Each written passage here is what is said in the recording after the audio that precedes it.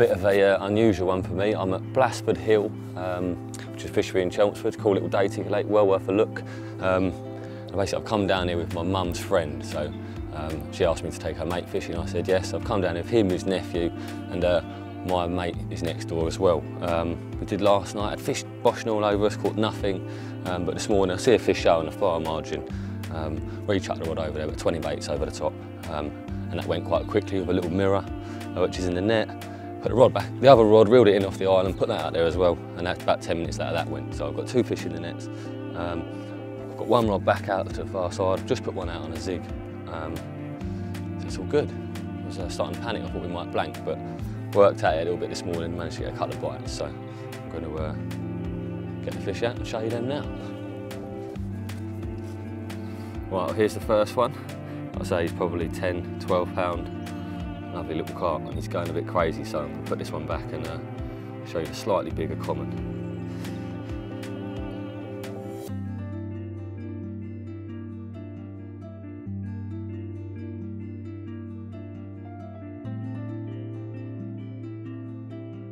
Right, well here's number two. He's slightly bigger, he's probably 14 pound. He's got a massive old mouth, big rubbery lips. And he's uh, scale perfect pretty much, so very pleased with this one. Two rods out there, and still time to nick one more.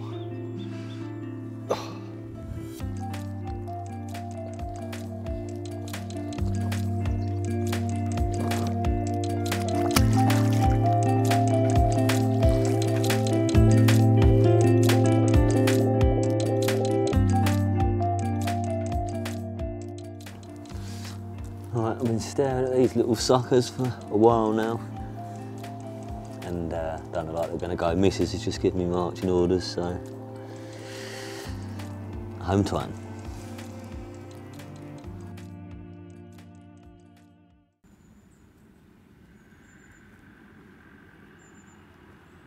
Do that, a little monkey. Blue. Come here.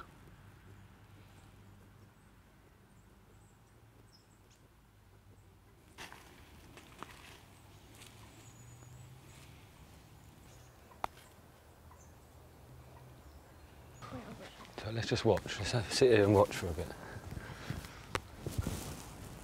See if they come back. I think they were there a second ago. Oh look, right down here there's mud. Right in close.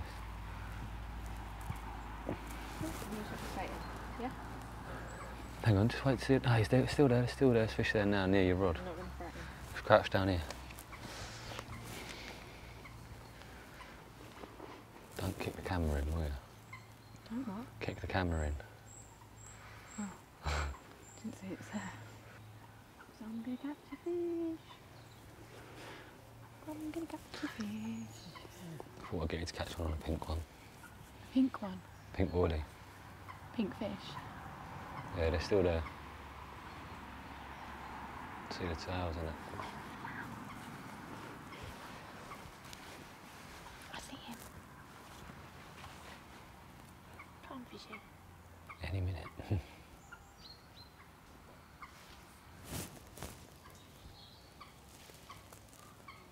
right there.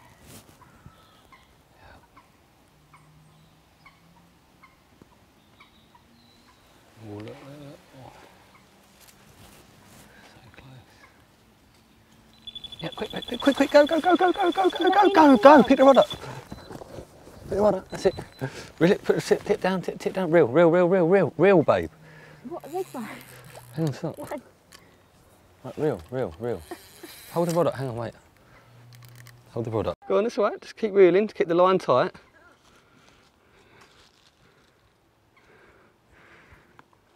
That's it. Right, so reel a little bit of line up, and I'll come and net him for you in a second. He's there. Right, okay, hang on. Hang on. There, look. Ready, mate? We go get in the net, hey! That's it.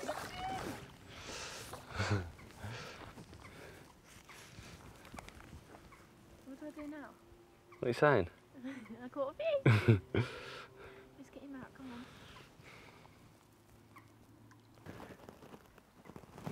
That's it? Yes. I caught my first fish. Hold him up a bit higher. That's it. well done.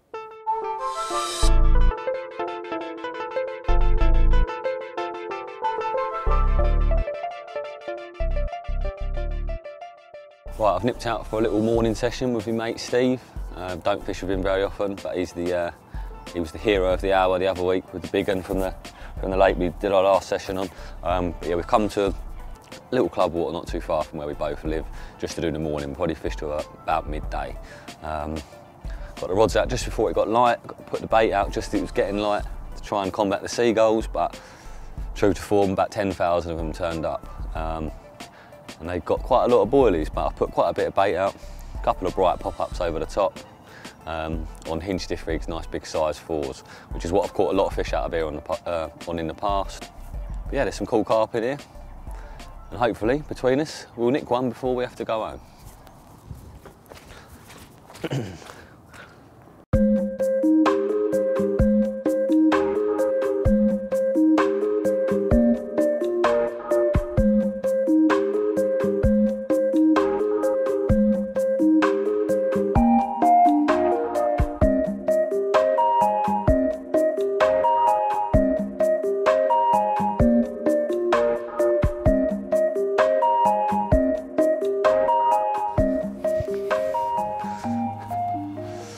Right, I've had a little move up. Um, just didn't catch anything down the other end. The birds started diving all over us. Um, I've had that on here in the past and it's been a bit of trouble to be honest. The water's really down as well, so I've come up here, which is pretty much a banker spot. There's always fish in this out of bounds area. We basically just spread our rods out along here. Um, I've got the one closest to the rope, so I've probably got the best chance of catching one. Um, but Steve let me have it, so pressure's on me now.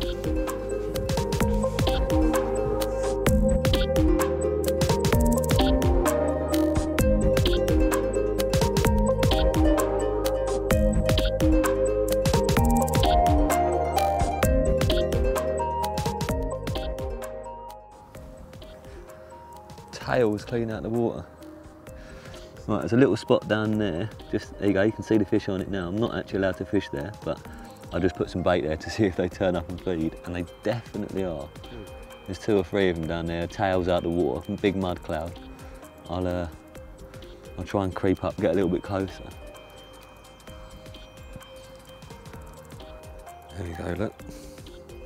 Couple there. There's nowhere the out of bounds is, that's for sure.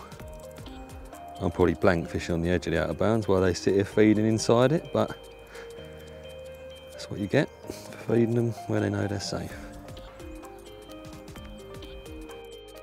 Right, left hand rod, one off the buoy. I had a bite, this literally netted this thing right at the bottom of the bay. He swam straight through those fish that were feeding in the edge. But it's a good fish. Don't know how big, I'm gonna go grab my scales and weigh him, but he's uh, definitely a chunk.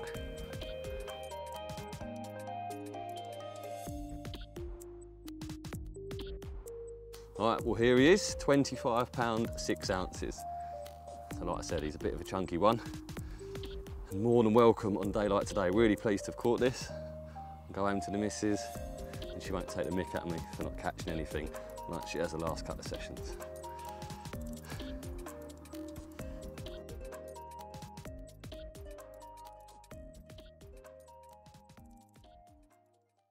Right, it's lucky left hand rod day. Steve's rod over there, just off that bush. Probably 10 minutes after I put mine back, he's had a take. He's come round into the out of bounds. And that leader there has caused him all sorts of troubles. It's kited around the line. The fish actually got tethered to that for a little while. But luckily, down here in the net is what looks a good fish. 25, 26 pound I reckon.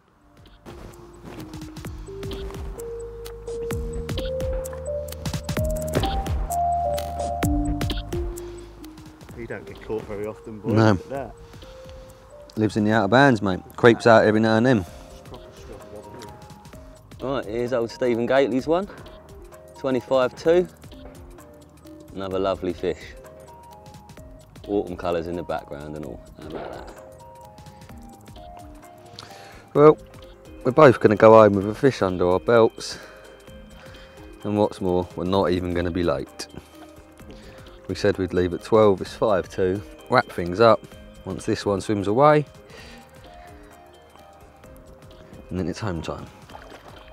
Come on, mate. Off he goes, look. Into the out of bounds. Like they all do.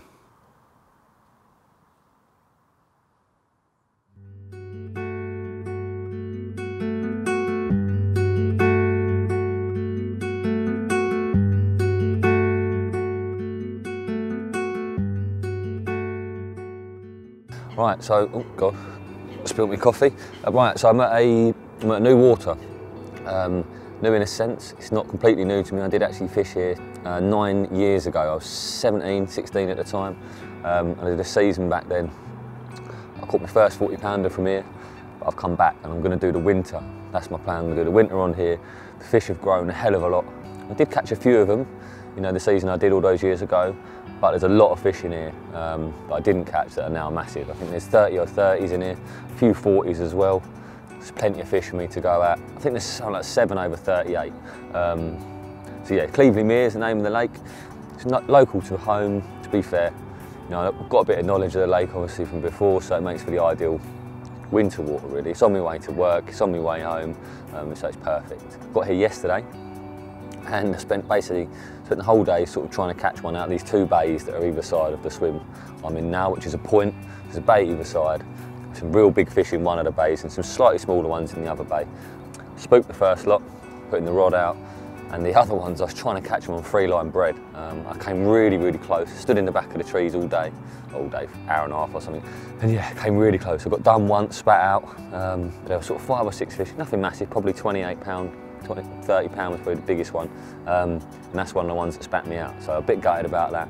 Um, I ended up getting my free line bread stuck in the tree, having to pull for a break and spooked them all off. So I've done the night, same areas. I've got one rod off the front of the point here, like I say, and two rods either side, or one rod either side. Haven't seen a great deal. Uh, I've been sort of sat, there's a little rat run type thing down here, uh, a little gap. I've been sat there for a little while this morning watching down to the bottom end of the lake and I have seen a couple of fish there. Uh, and that's where all the regulars seem to be. They're all down that end. I'm sort of pretty central, so I'm gonna hang it out here. Um, I wanted to get my rods out in those bays nice and you know, I did them last night so they'll be ready for today. So hopefully when the fish do turn up, there'll be a five ounce lead, short rig and a sharp and Wide Gape waiting for them. But one of the commons I saw yesterday was massive, probably a 40 pounder. So really excited, um, just praying the fish turn back up. The weather's not quite as sort of sunny as it was yesterday, but I think they'll still creep in there at some point. So fingers crossed, but yeah, I think this will be me for the rest of the winter. Oh, I'll tell you one more thing, oh God. I'm destined to throw this coffee everywhere. I've him photoed the most crazy carp I've ever seen at the weekend from my mate Kempy. James's fish, some of you may have heard of it, but what a beast. Four foot long. I've never, I've never ever seen a carp like it. It was, it was ridiculous. Doesn't even look like a carp. It's that big. Its mouth and its head are huge. So yeah, I thought I'd let you know because I've got a bit of video you can see. So yeah, that's that. Fingers crossed I'll uh, catch something today, eh?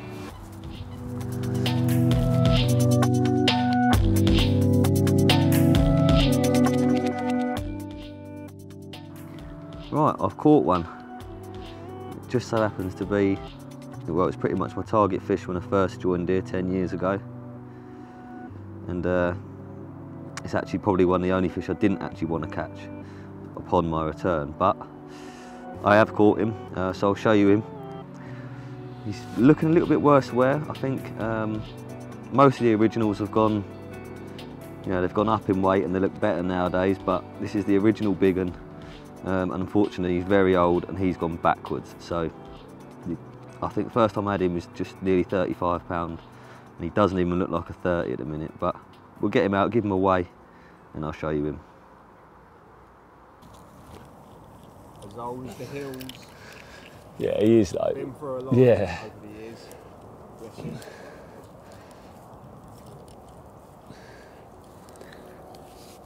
So is this sack.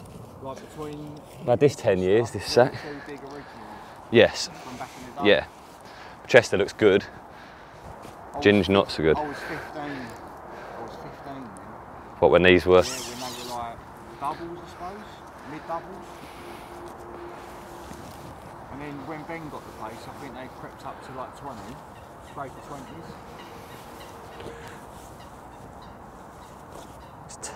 Look. Right, well here it is, £26, seven ounces. So he's, well, best part of £10 down on what he used to be. But like I said, he's a very old fish. Used to be the biggest in the lake. Certainly isn't anymore. But strangely, quite a nice welcome back. Old as the hills, in an absolute state. But an old friend of mine. All right, well, time to say goodbye. I can't believe what this fish looks like. So old. Go on, mate.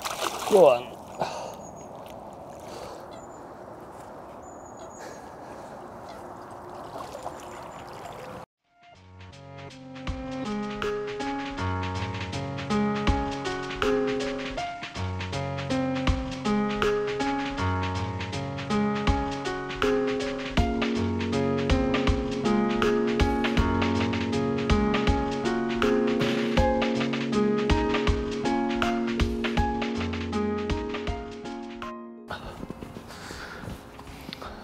I'm going to uh, do this sort of Blair Witch style.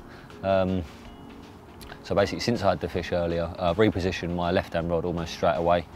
Um, I was actually in the middle of doing that when I had the bite.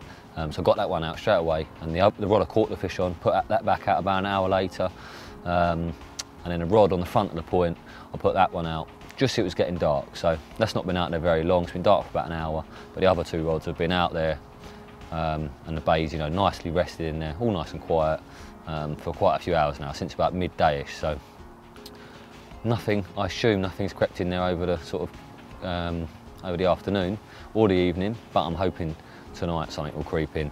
Not sure how confident I am that they will. It's quite shallow water, um, and if they're not there in the day, might possibly not expect them to be there at night. But uh, talking to other people, the baits do do bites at night, so having caught a fish from there, it's worth at least one more night, I guess. I'm off early in the morning. Um, and yeah, the only places I would have moved to, I've seen quite a lot of bait go out there from other anglers, so I didn't quite fancy sitting over that. I thought I'd hang it out here for one more night. And this could well be the last time you see me this session, unless I catch anything between now and the morning. Um, that'll be it till next time, but I'll cross my fingers that I do catch something, and uh, hopefully you can do the same. But for now, good night. Oh, turn off. Oh.